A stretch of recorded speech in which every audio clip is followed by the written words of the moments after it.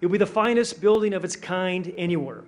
The first floor, and I think most significantly the first floor of a 110,000 square foot building, will, has, will house our new student athlete academic center. It sends a signal what we're about in the athletic department. It starts with our academics, believe me.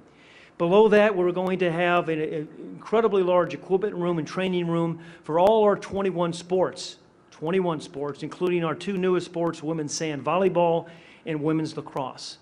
We'll feature that uh, weight room and athletic training room, lockers, and then the upper level will have meeting rooms and coaches' uh, offices for our football program, plus a state-of-the-art digital media production facility. The John McKay Center could not become a reality without you in this audience and certainly the donors that have been named. They've been incredibly supportive of us for decades and will going forward, we know. So, on behalf of the athletic department, and in the words of my mother, my beloved mother, who passed away not too long ago, who, who always told me and my siblings the two most powerful words in the English language that are not used often enough, and those two words are thank you. So we thank you for all that you do for us. We thank our donors. We thank our administrators. We thank our faculty members who have been supportive of athletics, and we certainly thank you. And it's a great day to be a Trojan. Fight on. Uh, it means uh, it means an awful lot. It's, it's actually kind of an emotional thing. It's uh, it got me a little bit when I heard uh, heard it for the first time.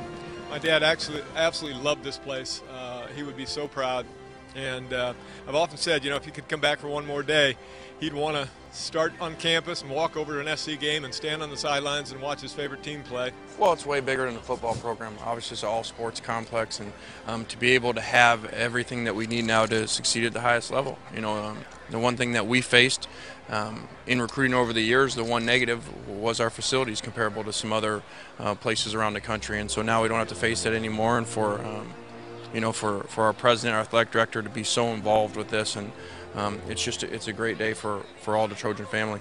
Well, as you can see, we are very excited about the new John McKay Center. It's going to be a world-class facility and worthy of our student athletes. Construction is well underway and we're on schedule to open in the summer of 2012. But we still need your help in our final phase of fundraising efforts for this wonderful $70 million state-of-the-art facility. There are many ways for you to provide financial support, including naming opportunities and through the unique Locker campaign. I hope you will join the many donors who have already assisted. In doing so, you become part of USC's legendary athletic and academic heritage. Thank you and fight on.